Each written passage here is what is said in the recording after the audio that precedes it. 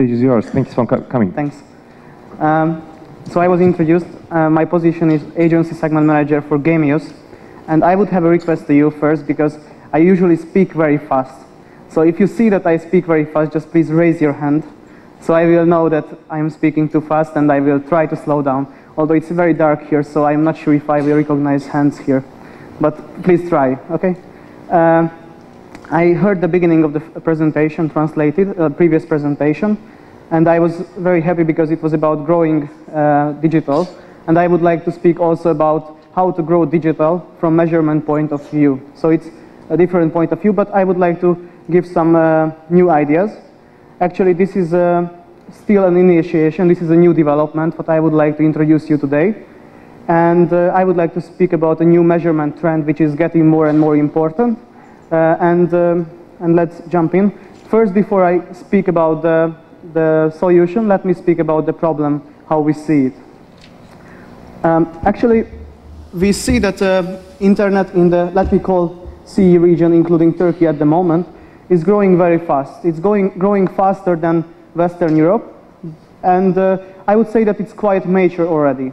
In all the markets, uh, excluding the Western Europe, is reached 40% uh, penetration or 50% in most of the markets. And also, we have a high share of online, of all ad spendings by online advertising. And I would say it's quite mature, so it's not growing that fast from nat natural growth. So just because new users are joining the internet, it's not growing. And, um, but it's growing because of formats like video, and we would like to show you something uh, which is also can grow digital advertising. So this is one problem. The second problem is that it's getting more and more crowded.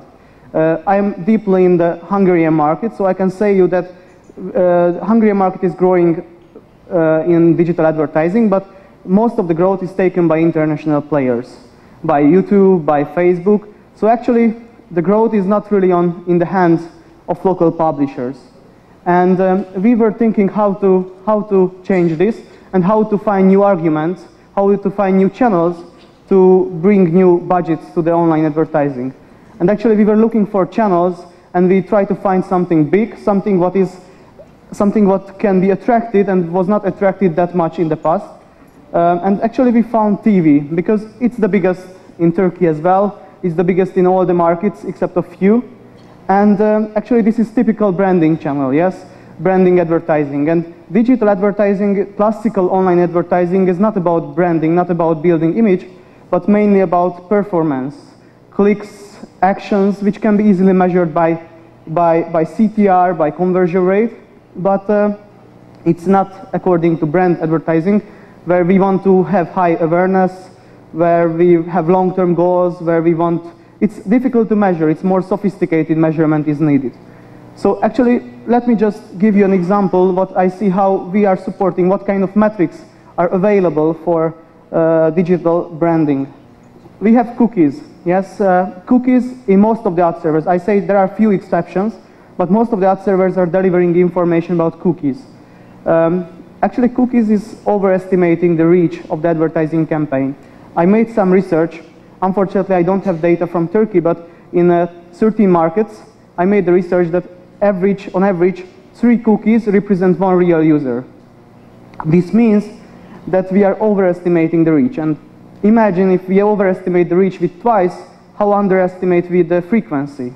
which is also important metric for brand advertising. So we need a good metric for reach. We need to measure the reach correctly. Also, we need to have new metric, uh, which is which, which advertisers who invest in image get used to in TV channels. So we need online reach for target audience and online frequency. And actually, this is this is what I would like to present you today. What kind of measurement we can provide you. Um, upon IAB Turkey approval, um, what kind of measurement I can provide you, and why it's Gemius. Gemius is a proper partner for this kind of research from many point of view.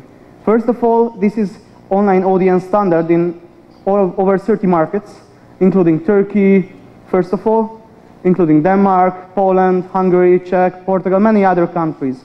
Also, as we are doing online audience website measurement in Turkey, it's easier to get the same data from the same company for campaigns. because the data will be coherent. I, I love to see that advertisers always like so enthusiastic that they see some reach curve in the beginning of the campaign, before the campaign, and they see the same reach curve after the campaign. So they are, they are pleased. And this is what can be provided because the data is coherent in, two, in the two sides. Um, how, how can it be done? What is the little methodology behind this? First of all, we are tracking all the single impressions on digital campaigns. Uh, we identify those cookies who are seeing the advertising campaign, and we match it with audience measurement panel, and the sample is constructed by people who is part of our panel, and also who is watching the campaign, who is interacting with the campaign. So in the end, we can give information about users who were exposed to the advertising campaign, and also internet, uh, internet users who make some interactions, engage with the advertisement, uh, generate a click, make a conversion. So we can tell you how many and who were those guys who made some impression, if they were valuable or not. Because very often we see some, buy some run on network, run on site, uh, we buy some uh, ad exchange and we don't know who we actually reach, how it's supporting the branding goals. Uh, I, I found it uh, with, uh, when discussing with my friend from my, my client, Procter & Gamble, he explained that he does not know the impact of the advertising campaign on his target audience. It's a big problem for this. So him, and this is actually a solution. I would like to bring you a case study uh, from the same company, Procter & Gamble. I must tell you that it's, uh, I'm sensitive about this because it is somehow my, my, also my child. Uh, we initi initiated this campaign uh, some time ago, and it was very special because we did not only measure the campaign reach uh, in target audience, specific target audience, but we also, like not we, but the publisher sold the media based on target group information. Uh, actually, the goal was to buy impressions in target audience 16 to 24. The goal was to buy 400,000 impressions like this, and actually, we were just following in the online interface uh, frequently updated data, how the reach is built, how the impressions are built, and we just stopped the campaign when this, this reached the goal. So in the end, we a bit overperformed. We reached 423,000 impressions from the target audience. So actually, the, the advertiser was happy because he got the same data, what he understood from other media. He got reach. We reached 26% of his target audience. He got data about frequency uh, from his target audience, about real people, not, not cookies and not about in general population. So he was, he was very happy about that. Um, I think I will not show you these slides because uh, I have some live demo. So I ask technical colleagues to change to my computer how the data is presented, just short live demo. Oh, maybe I need to. It will be fine now. Sorry for headache. so this is how the data is presented. Um, actually, here it's an online interface where you can see frequently updated data and you can see the reach of real users, not cookies, in your target audience. So you can see that this campaign reached 3,600,000 female users, uh, which, who were 53% of the audience reached by the advertising campaign. You can see other, other characteristics here, but also you can see here your own target audience. For example, young woman was defined by, by the client. And also we can, oh, this was, Okay. Okay, so you can also define your new target audience. For example, I could define man from Istanbul.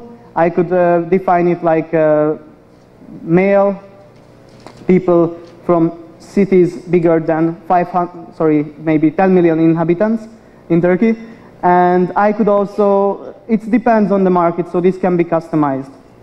Um, and also we have an application which you, I'm 100% most of you know already, this is Gemius Explorer, where you can analyze websites, but also you can analyze the profile of advertising campaigns. So here I can see that I can select the target audience, just like for websites.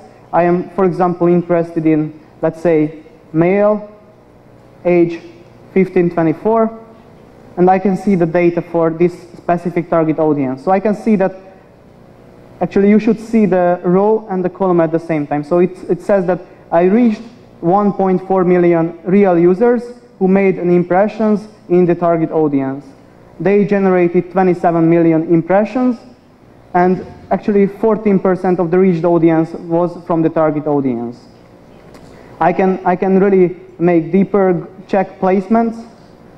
I can check placements. What is more important, I can check also clicks, successful clicks, so users who are getting to the landing page, actions, who are those guys? It's visible that although 14, 11% of the audience is from the target audience, but only 8% of the users who make conversions are from the target audience. So this is not the target audience for this campaign probably, but you can really find out who is interested in your offer. Um, and you can find out what kind of creatives your target audience is interested in.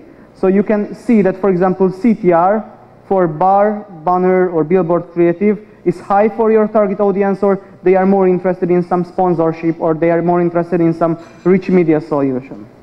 So you can really optimize your creatives. You can analyze duplication between sites. So you can optimize your frequency and, and reach.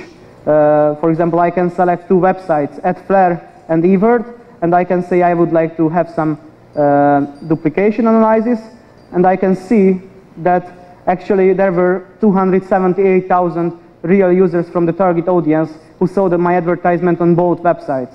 I can also change to percentage view. So we can change back. So actually, this is, this is a lot of possibilities how it can be measured.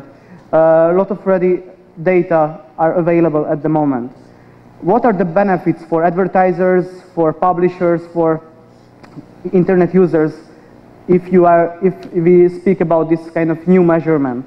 I would say that a lot of benefits they have. First of all, advertisers are optimizing their target audience, their campaigns for their target audience. So there will be a bigger impact on the target audience. There will be a bigger impact on the image, on the awareness.